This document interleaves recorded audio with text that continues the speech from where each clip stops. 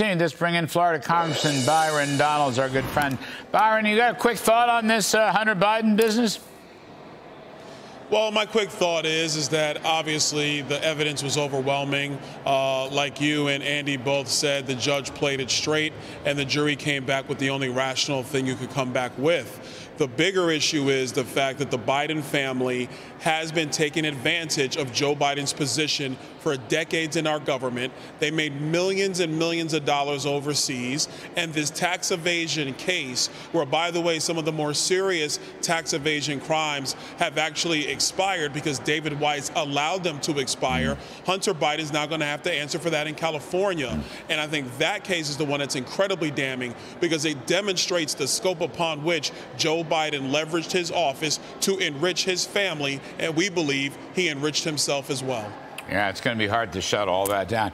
Byron, I want to switch topics. Um, and talk about uh, my pal Bill McGurn's column today and all these lefties are beating up on you.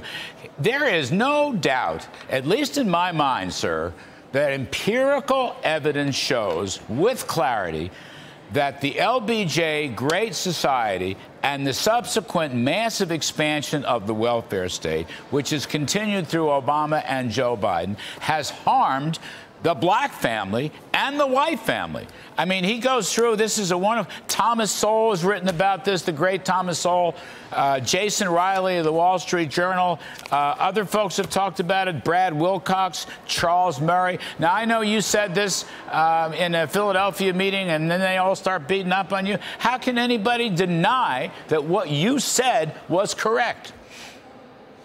Well, Larry, thank you for asking about that. It's interesting that all of the people who uh, have issues with what I said in Philadelphia, they never talked about the substance. They talked about their feelings associated uh, with one of the great tragedies in American history, which is Jim Crow. I think also a lot of the critics they don't want to acknowledge that Jim Crow was a was a was an era ushered in by Democrat politicians in the South who still wanted to uh, segregate and subjugate black people in this country, and they also don't want to acknowledge that it's Lyndon Johnson's Great Society, also heavy Democrat policy that actually led to fathers not being in homes. You have federal agencies, state agencies that would actually come and examine the apartment to make sure there wasn't a father figure in the home in order for welfare checks to go out. And then, of course, you have the 94 crime bill ushered in by Joe Biden, which is also destructive of families. And so if you take the track record of that era, Democrat policy, whether it was segregation policy under Jim Crow, welfare welfare policy under Lyndon Johnson. It has been destructive of black, black families. I don't. I think my critics don't want to acknowledge that empirical reality. And then when you look at the policies that have worked for the black community and frankly for all of America, have been pro-growth economic policies and education freedom policies, which empower parents and give students and gives young black minorities and young black people, young young people everywhere an opportunity to excel and achieve and get academic attainment so they can become economically viable in America.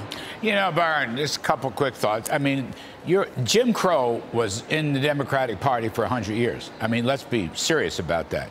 Up until recently, unfortunately. In fact, there was a Democratic Senate Majority Leader who was a former member of the KKK not so long ago. So uh, people should quit uh, harping on you for that. But the other point I want to make, more generically, broadly, if you will, Charles Murray, I don't know if you ever read Charles Murray, very smart guy, sociologist, demographer.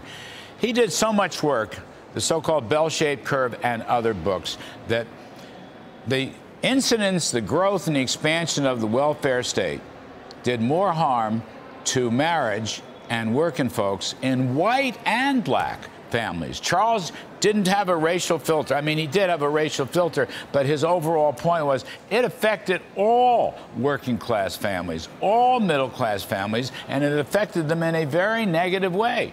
And Democrats do not want to look in the mirror and face up to the harm that, uh, shall we say, big government socialism is wreaking on the uh, working folks uh, of this country.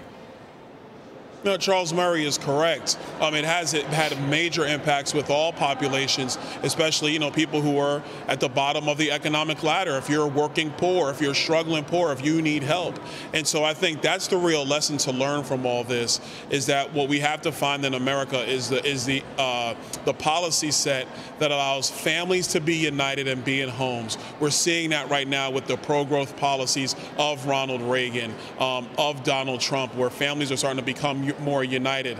You also need academic attainment for kids who are coming up, who are who are on the bottom end of the socioeconomic ladder. My mother gave me that ability to get my educational standards higher, so I could become viable when it comes to getting a job, building wealth, etc. That's the policy regimen that's going to work.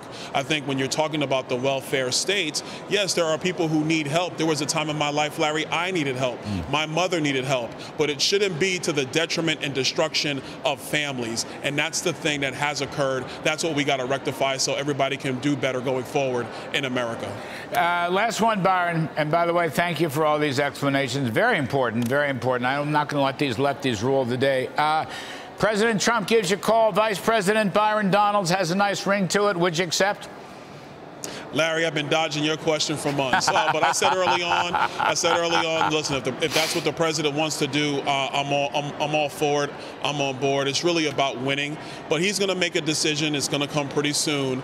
And I'm going to support whatever decision he makes. Listen, this is a great country. We have overcome so much in America. We truly have. But now we need true leadership in the White House. We need the economic policies and the other public policies to give Americans all the different abilities to be successful. And we have got to end these wars overseas. We got to get away from this, these, these crazy policies of endless wars. Donald Trump kept this country safe. He needs to be the 47th president of the United States. Congressman Byron Donaldson, great state of Florida. Thank you, sir. We appreciate it. As always, take care.